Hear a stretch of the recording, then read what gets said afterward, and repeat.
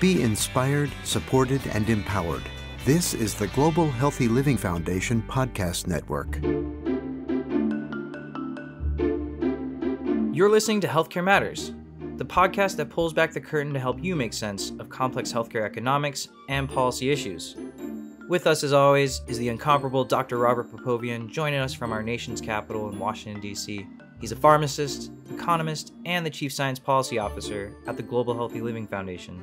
And joining me is my good friend Connor Mertens in Seattle, my co host and our patient advocate and community outreach manager, and an individual who today is contemplating what life will be all about without having their MVP quarterback now residing in Denver. I've given up all hope on the Seahawks. It's we're all in on the Mariners now. Denver can have them. They can have them. We're moving on. So we're happy to be back for our third season, Connor. There's so much more we want to share with our audience, our patients, our advocates, our policymakers, everybody who listens to our podcast. And thank you for listening to us over these past few seasons and for all the supportive feedback. Now let's take a look at one of your comments. Henry writes, You guys do such a great job helping people like me understand complicated healthcare issues. Thanks so much. That's what it's all about, right, Robert?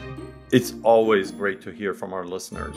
That's without a doubt my favorite part of this podcast. So let's get into our next episode. Connor, what if I told you the number 2000? What does that mean to you? Well, now you got me thinking about the Mariners. That that was you know one of the, one of the last times we went to the playoffs. True, uh, that is a true case, and you know you should be proud of that. However, today we're talking about the Inflation Reduction Act, and the number 2000 has a very special meaning. So, Robert, today we're talking about the Inflation Reduction Act. Let's get into it. What is this uh, $2,000 talking about? How does that relate to the Inflation Reduction Act? So, it's actually really good news for our seniors, right? So, the $2,000 is a cap that was instituted in the Medicare Part D program. So, for the first time, our seniors are going to have a cap of out of pocket cost expenditures for their drugs. Before this, there was no cap, there was unlimited exposure and the $2000 is the maximum that they will be liable for annually for their expenditures out of pocket. Well here you know we like to talk about the good parts the bad parts then the ugly parts maybe the parts that could be better about about healthcare policy and economics. So when it comes to the inflation reduction act it certainly sounds like there are some positive things for patients but certainly some things that could be done better. This $2000 cap it sounds amazing for seniors. Can you tell us more about why this specifically helps seniors it allows them to have certainty, right? Before this, when there was no cap, seniors would have unlimited exposure for out of pocket costs for their drugs. So, similar to what we see in the commercial side, so the insurance plans that you and I have, Connor, for the first time in the Medicare Part D program, seniors have certainty they will not be spending any more than $2,000 per year for their prescription drugs out of pocket. Which, you know, $2,000 still is nothing to shake our head at. That's certainly a burden financially for a lot of folks. But this is definitely, like you said, a step in the right direction and, and some finally some certainty about what seniors can expect in their healthcare benefits. What, what else can we say that the IRA has done that's that's really helping folks? Well, for the immediate future, starting next year, seniors will not have any out of pocket costs for any of the vaccines that they receive through their Medicare Part D program. That is significant. We know when seniors have an out of pocket cost for their vaccines, there's a great deal of abandonment at the pharmacy level. So when they show up to the pharmacy to get their vaccines, and if there's an out of pocket cost associated with it, the seniors generally walk away. So having this law pass and now that has zero exposure to out of pocket costs for their vaccines. This is super important because, as you well know, not only vaccines are the most cost beneficial intervention in the healthcare system, but they're very important for our elderly because, as we've seen in the COVID pandemic, they were the ones that were most affected and the ones that the vaccine helped the most. And and not to just to mention that, it was disproportionately affecting, you know, ethnic and racial minorities and folks from low income communities. So these changes in in Medicare Part D for vaccines could be, you know, save some lives, genuinely save some lives. That is true. Robert, a lot of the legislation uh, packed into the bill, this Inflation Reduction Act, are themes that we've discussed before, themes about transparency and passing along um, savings to patients. Can you tell us what this bill could do better? So that's a good question, right? Just like any other legislation, there's the good, the bad, and the ugly of it. So the bad and the ugly parts are really that patients are still not going to get the savings procured on their behalf by the PBMs at the point of sale. So when they show up to a pharmacy and they have a coinsurance or a deductible, they will still have to pay those coinsurance or deductible based on the retail price of the medicine instead of the negotiated price that has been done on their behalf by the pharmacy benefit management company. In fact, the uh, federal government, through this legislation, had the opportunity to address this, and they did not do so. And that's one of the biggest problems that I foresee that they didn't address. In addition, I would say the other disturbing part is that, as you well know, Connor, and Global Healthy Living Foundation has done a study on this, and we published it in the Health Science Journal. Annually, the number of drugs being excluded from national formularies has been increasing. And this was an opportunity for the federal government to address this issue. We know that a lot of times these exclusions are okay, you know, because their brand name is being excluded compared to a comparable generic. But in 50% of the cases, these exclusions are either therapeutic substitutions or, in some cases, exclusions involve a generic medicine which is substantially cheaper in favor of a brand drug. And that's where the seniors are going to get hurt because at the end of the day, as we discussed, they're still being exposed to the retail price of the medicines and not the negotiated price. And therefore, if a pharmacy benefit management company decides to exclude a generic in favor of a brand, when a patient shows up to the pharmacy and they have a coinsurance or a deductible, they have to pay it based on the full retail price. So, Robert, currently there are hundreds of these medications that are excluded from national PBM formularies. Is there any sort of clinical or economic justification for it, or is this just all trying to line some pockets? So, that's a great question, Connor. So, our study that we published through Global Healthy Living Foundation demonstrated that, as I mentioned, 50% of the time it's actually justified from both an economic and a clinical perspective. Uh, 50% of the time, formularies are excluding drugs such as a brand name drug that has an equivalent generic in the marketplace, which is substantially cheaper. So it makes absolute sense. But it's the other 50% that is problematic because the other 50% involves excluding drugs that are not they don't have a generic equivalent. So it's sort of like they depend on a different molecule that they assume will have the same efficacy and safety profile for the patient. In other words, they're playing doctor through formularies because they're forcing physicians to make clinical judgments that may not be in the best choice for the patient. But in addition, there are cases, as I mentioned, that formularies exclude generic medicines, which is again substantially cheaper in favor of brand name medicines. And the sole purpose of that is to line the pockets of the PBMs by covering higher priced, higher rebated drugs.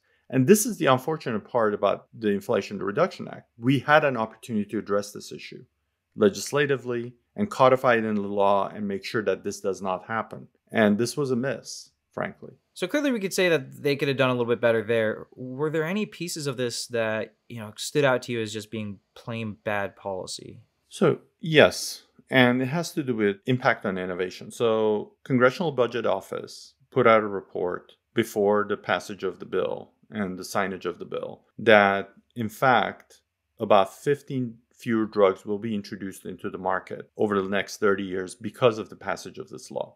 So, a bipartisan group of analysts, which Congress depends upon, came up with this number. It's not a partisan issue. It's not a Republican or a Democrat number. Now, there are private entities that have done similar analysis using different assumptions because remember, Connor, these are all based on assumptions, correct? And they've done the analysis to show up to 60 drugs may not be introduced in the marketplace in the next 30 years.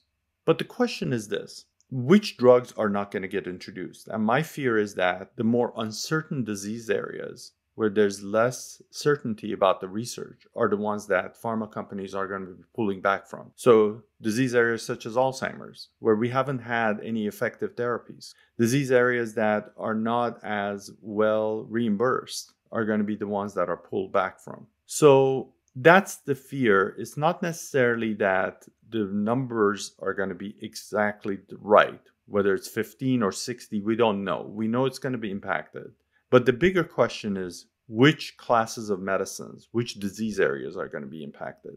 And in my opinion, what's going to happen is that pharmaceutical industry is going to pull back in areas of research that are less certain, such as Alzheimer's. All right, Robert. Well, you get your red marker. What's um something that you wish this bill did and and was missing out on?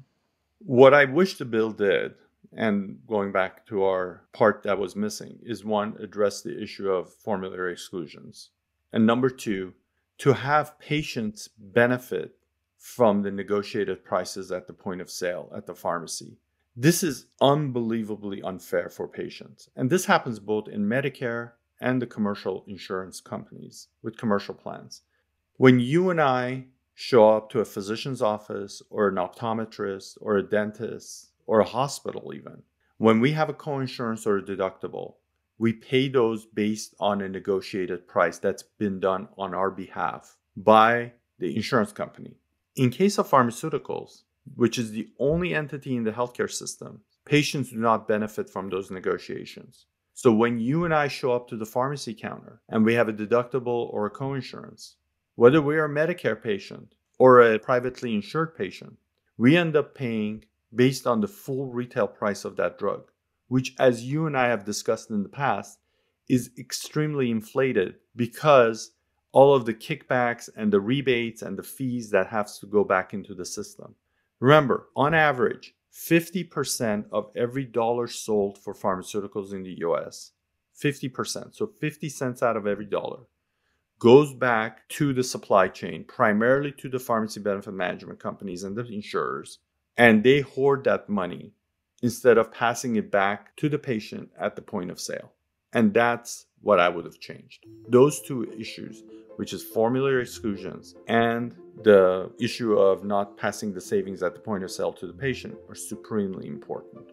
And even outside of the Inflation Reduction Act, these are policies that we've been preaching for years, you know, and and so I truly think it's it's what you said. We really missed an opportunity, but unfortunately, with the way and speed that federal legislation moves around healthcare, I almost feel kind of a take what I can get mentality that is not a bad mentality to have. And in fact, our producer Ben mentioned it to me something that is look, there are some good stuff in here, and absolutely, he's correct. Zeroing out the out of pocket costs for vaccines for seniors, extremely important.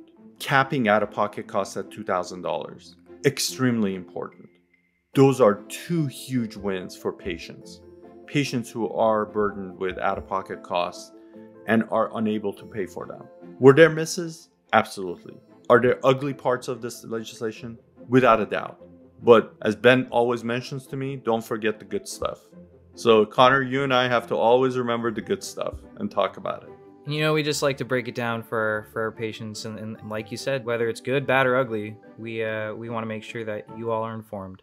Well, Robert, today I kind of figured out something that is very thematic with any legislation is that we kind of take the good with the bad, It's never black and white, that we could always do better. And unfortunately, the one constant is is we're coming up short for patients. But as always, I want to make sure you get the last word. This isn't changing from the first two seasons.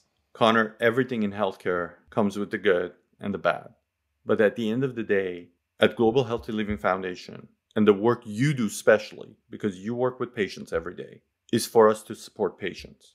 And as long as our North Star is the patient and the benefits that the patient can get, whether it's short term, medium, or long term, then that's a win for us. With this legislation, there are absolute wins for patients, but there are absolute misses as well. So, what we need to do as an organization what you need to do as an individual who communicates with their patients every day is to constantly go back and make sure those misses are addressed in future legislative efforts, whether it's in the federal level or in the state level. And that's the message that we need to carry. As always, thanks for breaking that down for us, Robert. I think that was some very valuable information for our listeners and, and very topical. Don't forget to subscribe to our podcast on Apple, Spotify, or wherever you might be listening so you never miss an episode. And if you have a second, help spread the word by rating our podcast, writing a positive review, and sharing with your friends and family. It'll help more people like you find us. And Connor, speaking of our listeners, you can also send us an email or audio clip to healthcarematters at ghlf.org, and you might be featured in one of our upcoming episodes. And before you go, make sure you take a listen to some of our other great podcasts on the GHLF Podcast Network. Yeah, that's a good point, Robert. Right now, I'm listening to Talking Head Pain with host Joe Coe, and it's one of my must listens. As a migraine patient and advocate himself, Joe does a fantastic job sharing what living with migraine is really all about. You can find all of GHLF's podcasts at ghlf.org/listen. As always, he's Dr. Robert Popovian. And he's Connor Mertens, the individual who talks to the patients actually in our organization. We'll see you all next time. Be inspired, supported, and empowered. This is the Global Healthy Living Foundation Podcast Network.